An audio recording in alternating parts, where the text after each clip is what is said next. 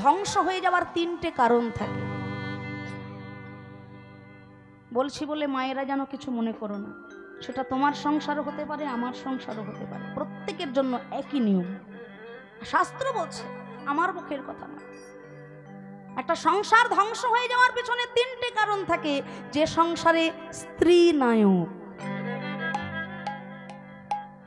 স্ত্রীর কথায় ওঠা বসা। সংসারে মালিক বলে গার্জেন বলে কিছু নেই। স্ত্রী যদি অন্যায্য বলে, সেটাও মেনে নাও। স্ত্রী যদি ন্যায্য বলে, সেটাও মেনে নাও। যেমন উদাহরণ দেখুন, আজকে মাতা গান্ধারী শতপুত্র হওয়া সত্ত্বেও তিনি আজকে সন্তান হারা হয়ে কাঁদছেন কেন? না, বিগত একশো এক জন্মে তিনি কন্যারূপে জন্মগ্রহণ করে, তার যখন বিবাহ হয়েছিল, স্বামীর কাছে বলেছিল, ওগো স্বামী আমাদের ওই যে চালের ওপরে একটা মা মাকড়সা তার উদর পরিপূর্ণ ডিম নিয়ে আছে ওই মা মাকড়সাটা আমার হাতে পেড়ে দাও। আমি দেখব ওর পেটের ভেতরে কতগুলো ডিম আছে। সেদিন ধৃতরাষ্ট্র ভালো মন্দ দিক বিদিক জ্ঞান শূন্য হয়ে গেল। সেই জন্য ধৃতরাষ্ট্র অন্ধ হয়ে গেল। হরিব যেমন কর্ম তেমন ফল। সে তখন ভালো মন্দ বিচার বিবেচনা না করে স্ত্রীর প্রেমে অন্ধ হয়ে ওই মা মাকড়সাটাকে যেই না গান্ধারীর হাতে এনে দিল।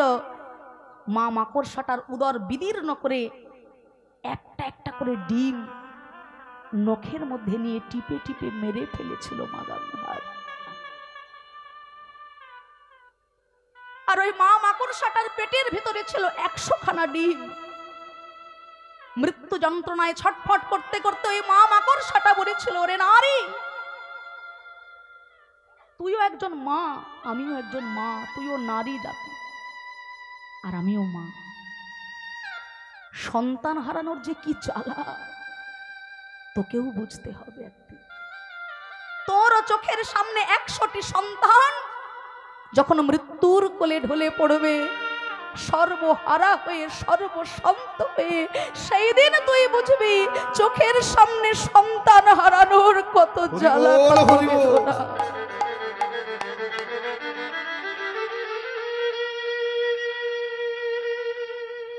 তাই সেই দিন যদি গান্ধারী মায়ের কথা না শুনতেন তাহলে মা গান্ধারীর আজকে এত কষ্ট হতো না।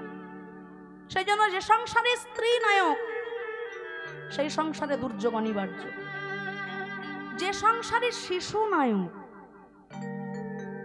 ছোটরা যা বলবে তাই হবে। তারা যদি অন্যায্য কথাও বলে, সেটাই মেনে নিতে হবে। বাধ্য, মেনে নিতে হবেই।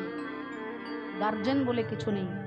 সংসারে মালিক বলে কিছু নেই। আর যে সংসারে বহু নায়ক সবাই মালিক। কেউ কারোর কথা শোনে না বেপরোয়া সবাই সবার মালিক। সেই সংসারও ধ্বংস হবে।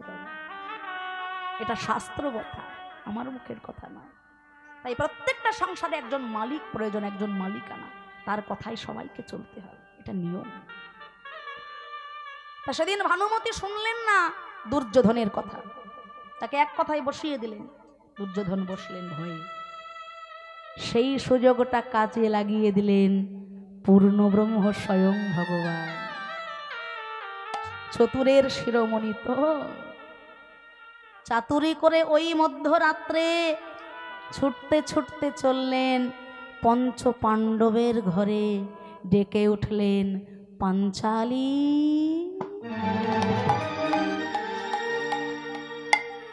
বেরিয়ে এসো পাঞ্চালী। পাঞ্চালীকে? হ্যাঁ। বড় আনন্দ চিত্তে বেরিয়ে এলেন দ্রৌপদী। পাঞ্চালী, চলো, আজকে তোমাকে আমি এক জায়গায় নিয়ে যাব। পাঞ্চালি কৃষ্ণের হাত ধরলো, সে তো সখা, তার হাত ধরে। কৃষ্ণের সঙ্গে ওই মধ্যরাত্রে ছুটতে ছুটতে যাচ্ছে, আনন্দে হলো আত্মহারা।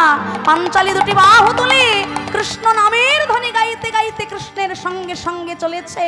কৃষ্ণ কৃষ্ণ কৃষ্ণ কৃষ্ণ।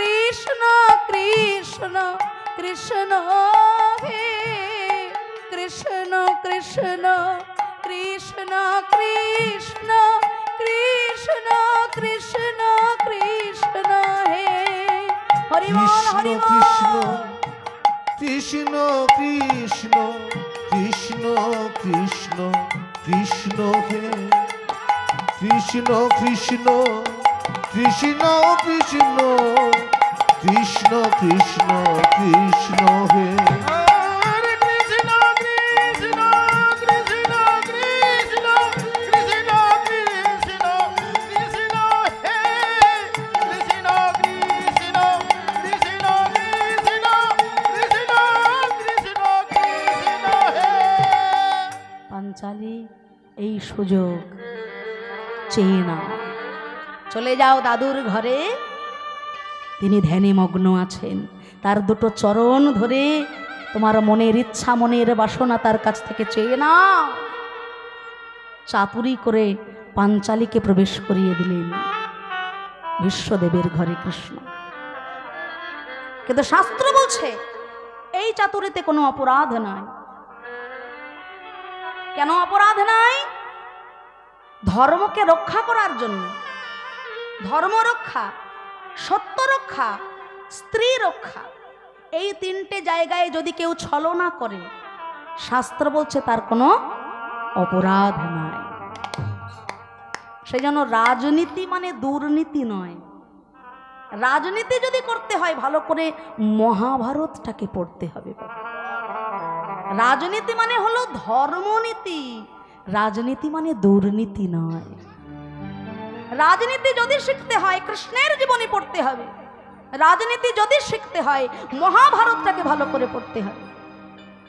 তাই ধর্ম রক্ষার জন্য, সত্য রক্ষার জন্য স্বয়ং ভগবান করেছিলেন কুরুক্ষেত্র যুদ্ধ। আর প্রত্যেক যুগে যুগে স্বয়ং ভগবান এই ধর্মকে রক্ষা করার জন্য আর অধর্মকে বিনাশ করবার জন্য বারে বারে স্বয়ং ভগবানের অবতরণ। পাঞ্চালী মাথায় ঘোমটা দিয়ে মাথাটা নিচু করে কৃষ্ণের আদেশ অনুযায়ী বিশ্বদেবের দুটি চরণ যেই না জড়িয়ে ধরলেন চরণে মাথা রাখলেন বিশ্বদেব দুটি হাত মাথায় দিয়ে বললেন অখণ্ড সৌভাগ্যবতী ভব। সৌভাগ্যবতী ভব। অখণ্ড সৌভাগ্যবতী ভব। ভাগ্যবতী ভব। অখণ্ড সৌভাগ্যবতী ভব। অখণ্ড সৌভাগ্যবতী ভব। তাই যেন হয় দাদু। কে? এ তো ভানুমতির কণ্ঠস্বর নয়। তবে কে তুমি? দাদু আমি পাঞ্চালি। পাঞ্চালি? এখানে তো তোমার আসার কথা ছিল না। কিন্তু আমি এলাম। যার ইচ্ছায় বিশ্ব ব্রহ্মাণ্ড চলে, তার ইচ্ছাতে আমিও এলাম। তার ইচ্ছায় এসেছ? কৃষ্ণ! আমার প্রাণের প্রাণ কৃষ্ণ এসেছে। কোথায়? দরজায় দাঁড়িয়ে। কোন দরজায়? কোন দরজায়? দাদু এখানে যতগুলো বাড়ি আছে, এখানে যতগুলো ঘর আছে, সবারই ঘরের দরজায় আমার গোবিন্দ দাঁড়িয়ে আছে। কিন্তু তাকে দেখার মতো চোখ নাই আর ডাকার মতো মানুষ নাই বলে সে আসতে পারে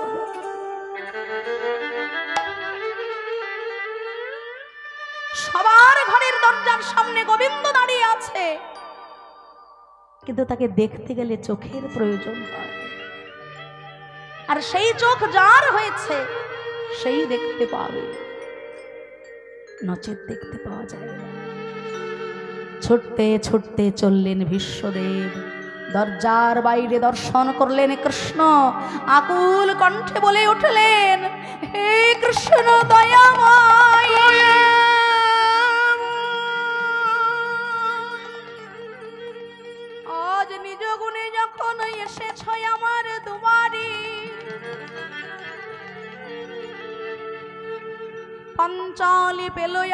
আশীর্বাদ। তবে এইবার বিনিময়ে তুমি আমাকেও কিছু দাও। আমায় কি দেবে জানো? এ জগতে যেদিন আমার এই আপন বলতে আর কেউ রবে না। এ জগতে আমার যেদিন শেষের দিনে ঘনায় আসবে, সেদিনে তুমি যেন আমায় দেখা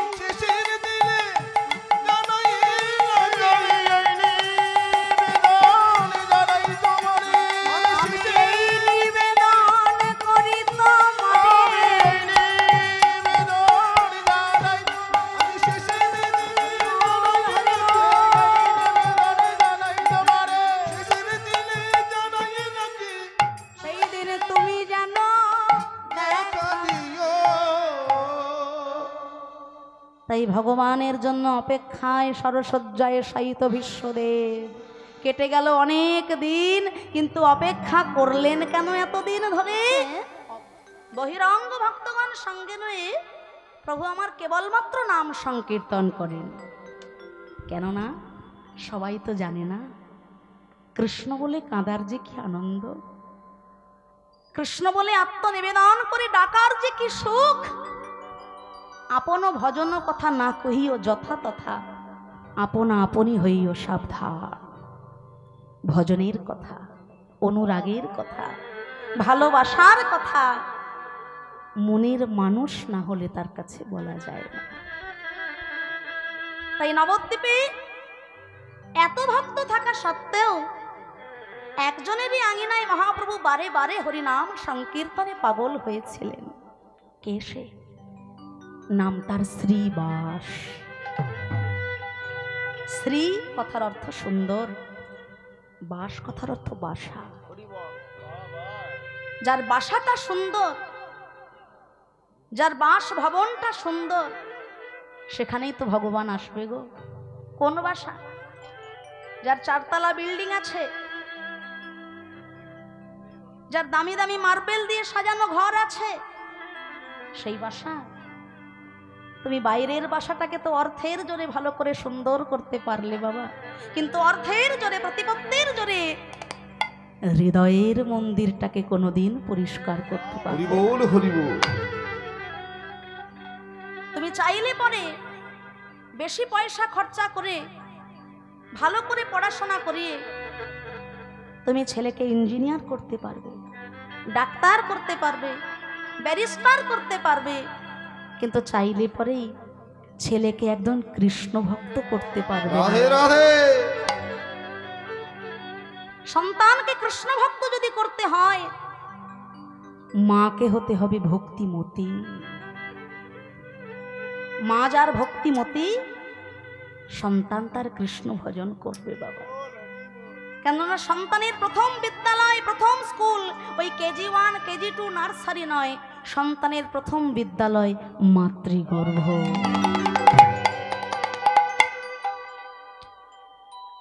শুধুমাত্র ভক্তই যে ভগবানকে পাবার জন্য আকুল হয়, শুধু তাই নয় বাবা।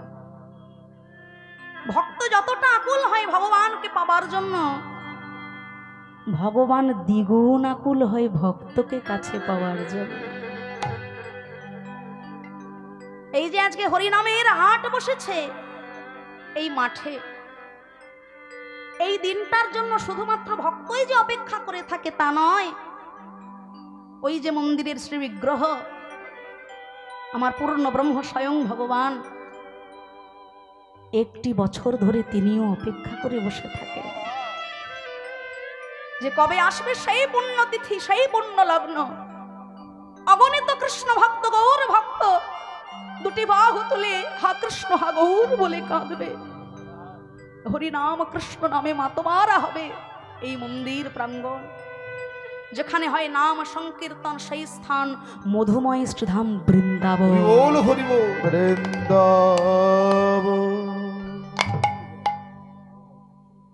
তাই শুধুমাত্র ভক্ত যে পাগল হয় ভগবানকে পাবার জন্য মেলার ভিড়ে ছেলের হাত ধরে বাবা যদি ঘুরতে যায় বাবা। হঠাৎ ভিড়ের যাতনায় হাত ছিটকে ছেলে যদি বাবাকে হারিয়ে ফেলে। ছেলেও বাবাকে দেখতে পাচ্ছে না, বাবাও ছেলেকে দেখতে পাচ্ছে না। ছেলে কাঁদছে বাবা। এই এত বড় মাঠে এত ভিড়, এত মানুষ, কিন্তু তুমি ছাড়া আমি তো কাউকে চিনি না বাবা। আমি যে তোমার হাত ছেড়ে ফেলেছি। আমি যে তোমায় খুঁজে পাচ্ছি না। সন্তান যদি কাঁদে, পিতা দ্বিগুণ হাহাকার করে সন্তানকে বুকে পাওয়ার জন্য। কেননা সন্তান বাবাকে ভুলে যেতে পারে, কিন্তু বাবা কোনোদিন সন্তানকে ভুলে যেতে পারে না বাবা।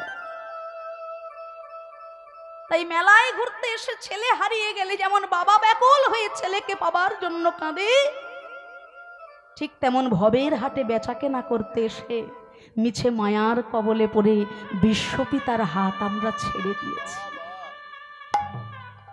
শুধু যে আমরা কাঁদছি বিশ্বপিতাকে পাবার জন্য তা নয়, আমাদের থেকে দ্বিগুণ খাচ্ছেন তিনি ওরে। পাঠিয়েছিলাম ভবের হাটে বেচা কেনা করতে গিয়ে সব যে তোর ধীরে ধীরে শেষ হয়ে গেল, আপন পুঁজি বলে তো কিছু রইল না। লাভ তো কিছু হলো না। এবার ঘরে আয়।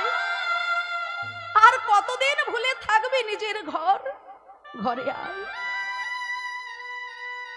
রাজমিস্ত্রি পয়সা দিয়ে তাকে একটা বাড়ি বানানোর জন্য ডেকে আনা হয়। রাজমিস্ত্রি মাথার ঘাম পায়ে ফেলে একটা সুন্দর বাড়ি তৈরি করে। সেই বাড়িটা তৈরি করার পরে কি রাজমিস্ত্রি বলবে, ভাই, এত কষ্ট করে বাড়িটা যখন বানালাম, এই বাড়িটা আমার। এখানে আমি থাকব, আমি বানিয়েছি। পারবে? মালিক বলবে, যাও ভাই, তোমার যতটুকু পয়সা প্রয়োজন, যেটুকু দেওয়া আমার উচিত, আমি দিয়ে দিলাম। বাড়ি তোমার বানানো হলো, এবার তুমি নিজের বাড়িতে ফিরে যাও। তদ্রুপ এই জগৎ সংসারটাকে ভাবি আমার বাড়ি, আমার গাড়ি, আমার ধন, আমার সম্পত্তি। ভেবে দেখি না, যতক্ষণ মেয়াদ আছে ততক্ষণ আমরা আছি, ততক্ষণ আমি মালিক। কিন্তু যার যখন হতেছে সঙ্গরঙ্গ ভূমির অভিনয় কাকস্য পরিবেদনা তখন সে আর কারও নয়। কোথা রয় প্রেয়সীর প্রণয়? পুত্র কন্যার কাতর বিনয় মানে না সে কারণ নয়। ছেড়ে যায় সাজ সজ্জা ছেড়ে ভেবে দেখুন না, গঙ্গাপুত্র ভীষ্মদেব যখন সরসজ্জায় শায়িত হয়ে আছে, সারা শরীরে তীর বিদ্ধ। কত জ্বালা, কত যন্ত্রণা। গঙ্গা পুত্র যিনি, তিনি গঙ্গার কিনারে প্রায় দুটো মাস ধরে কষ্ট করে সরসজ্জায়। কত ব্যথা, কত কষ্ট তার। একে একে সবাই আসছে তাকে দেখতে। একে একে সবাই আসছে তাকে দেখতে। একদিন অর্জুনও এলেন তাকে দেখতে। আর অর্জুনকে দেখা মাত্রই ভীষ্মদেবের দুটি নয়ন হতে ধীরে ধীরে অশ্রু বিগলিত হল। অর্জুন বললেন, দাদু, তুমি কাঁদছ। তোমার খুব কষ্ট হচ্ছে না? বিশ্বদেব বললেন, ওরে, এই সরসজ্জার যন্ত্রণায় আমি কাঁদছি না। তবে কাঁদছি কেন জানিস? যাদের আসার কথা ছিল না, তারা সবাই এলো আমাকে দেখতে।